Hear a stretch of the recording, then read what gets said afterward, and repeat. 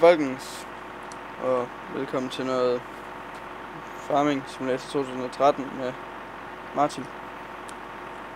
Uhuh. Ja, Og vi kører sådan noget, øhm, skal man kalde det, gammeldags noget, ikke? Prøv at se det her. Altså det her, det er en af de dyreste traktorer. Og denne her jo ikke også, det er den dyreste traktor. Og så har vi også den her, det er også en af de dyreste. Det er rigtig nice.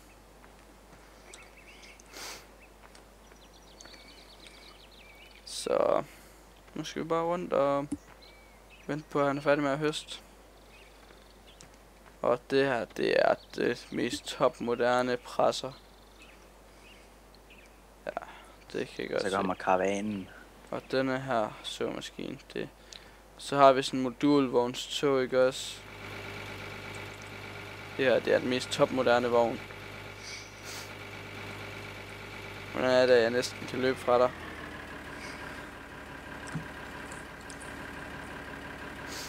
Men øh, vi skal jo bare lige øh, have høstet noget mark. Og øhm, så fandt jeg ud af den der, jeg skulle sætte her. Så skal jeg lige vise jer den mest topmoderne græssamler. Nå, den gik jeg lige forbi der. Den her. Det er den mest topmoderne græssamler. Altså, den har jo alt. Og ingenting på samme tid. Bare vil klippe noget græs. Altså, prøv at se det her. Det er virkelig bare ultra yber nice. Hvad kan man bare her. Run. Henning er fuld. Så må du tømme Henning. Jeg har ikke tid til.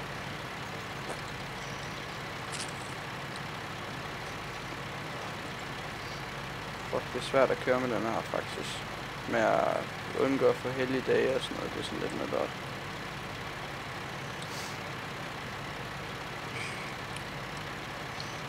Og øh, vi har faktisk ikke nogen kører endnu.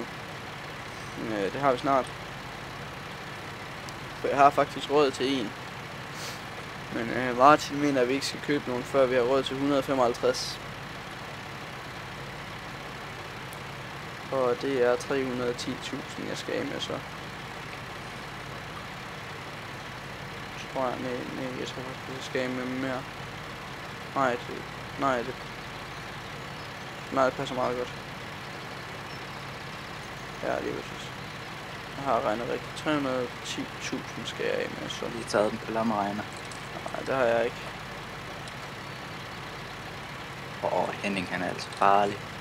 Hvorfor? Han begynder bare lige pludselig at barke. Nå.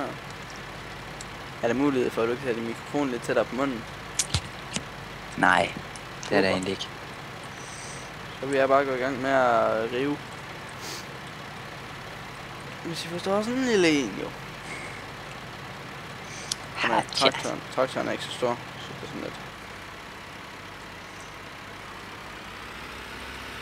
Det her, det er den sløveste traktor ever.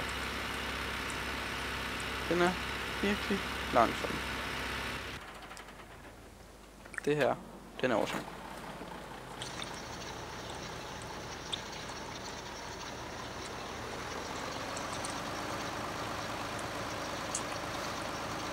Den her, den river det rigtig, rigtig pænt.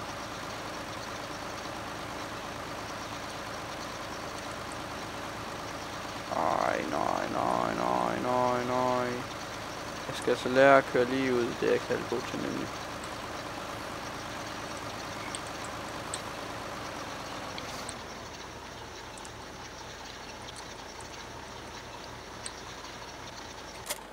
Åh, oh, forkert knap. Du skal snart tømme Henning.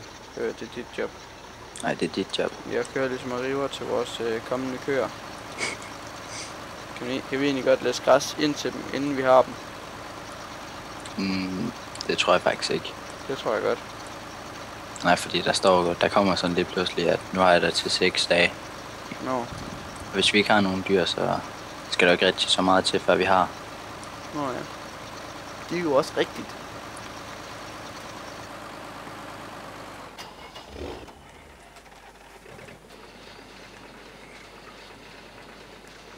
Godt sige det, nu skal jeg samle noget græs. I verdens mest topmoderne græssamler. Så starter jeg lige ud med en mega fucker heldig dag. Så det siger bare to. Det er jo både det ene. regner med at samle det hele ved at gøre sådan her. Jeg vil gøre også. Okay, det var en god idé at købe riven. Jeg er fuldt ud tilfreds på det. Nu tager jeg et helt, en hel øh, række. Fuck, nu væltede min ene blæser. Det er ikke den der.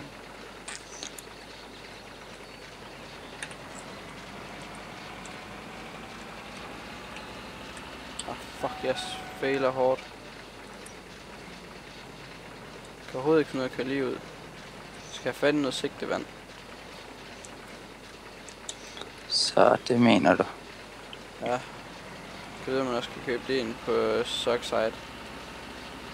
Det kan man nok godt. Den fucker over som hjemmeside. Det er det sgu.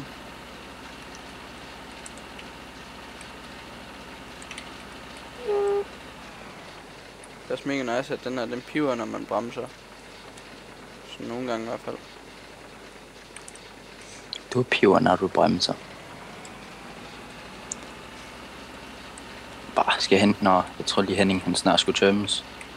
Det tror jeg måske han skal. Har du lige tømt ham? Det er ikke så lang tid siden. Hmm.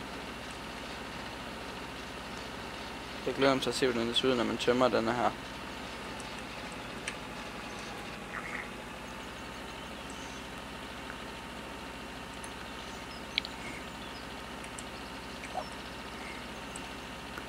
Tror lige, jeg kører over og ser, om jeg kan tømme den. Tror jeg ikke, du kan. Ikke før du har kørt. Ja, men øh, Henning han vil så gerne tømmes. Han vidste så gerne tømmes, men det er ikke jeg, der kører modulvogn.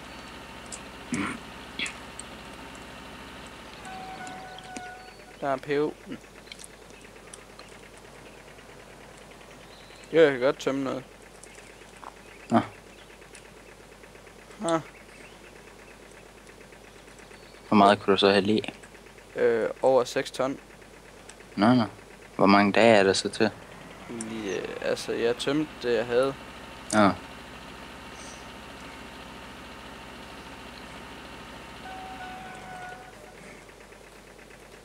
Nå, jeg skal måske lige bakke den her hen. Fuck, den har nogle brede bagdæk.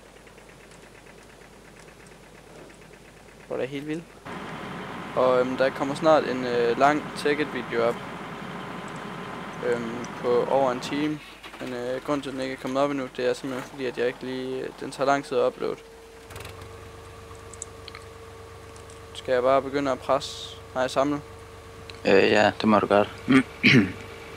det skal lige uh, flytte havn, så nok. Nå, du gør, ja, okay.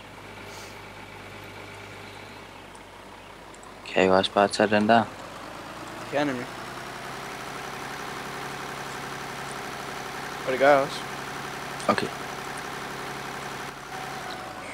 Det her, det er den mest moderne opsamlervogn ever. Simpelthen.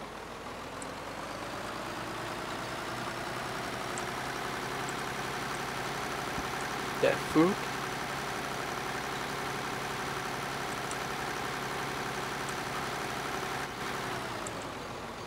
Jeg må nemlig ikke køre så hurtigt, når jeg samler baller.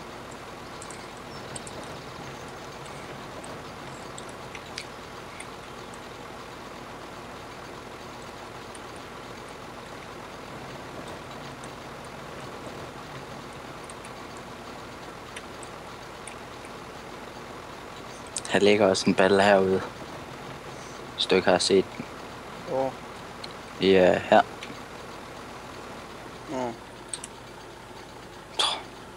voldsom. Det ved du godt, at det er at køre traktor. Skal jeg lade være med at køre traktor? Gider du godt at lære? Nå. Nej, det vil jeg egentlig helst ikke.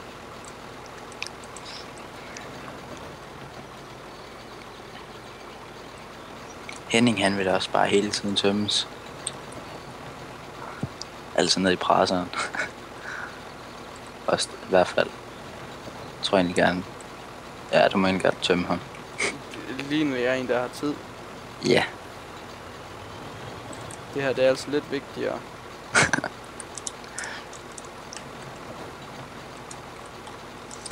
Nå, nå. Jamen, øh. Hvorfor har du egentlig ikke sat ham i gang med at have endnu? Fordi at der lagde baller.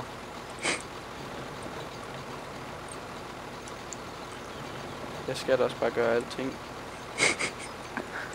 Ja, Jeg skal bare gøre alting, men jeg gør det ikke. nej. Jeg overvejer at tage en cola. Nå, Eller en monster. Jeg kan ikke bestemme mig. så tag en af hver. Ah, det er dog lige for meget. To af hver. Ah, det er for lidt. Tre af hver. Ah, det er lige overkant. Men En kasse af hver tiden, den er sådan set ved at være gået, og jeg er færdig med at samle de her baller op indtil videre, i hvert fald indtil Martin han lige går i gang med at presse igen. Men øh, jeg vil da bare sige tak, fordi I gad med. Det betyder meget for mig. Eller, sådan, ja, det, det gør det. Det gør det sgu. Det må I ikke øh, være i tvivl om. Og så kommer Martin lige fræsende. Men øhm, jeg håber, I vil nyde den her video. Øhm, mange af jer har virkelig bare øh, tænkt, oh my god, lav noget mere. Kom så. Fordi Martin, han han synes dejligt at lave videoer sammen med. Grund af at den video på min kanal, der har allerflest visninger, det er en af dem, jeg lavede sammen med Martin. Den har fandme fået mange i forhold til størrelsen på min kanal. Men øh, tak fordi I med, og vi ses. Hej hej.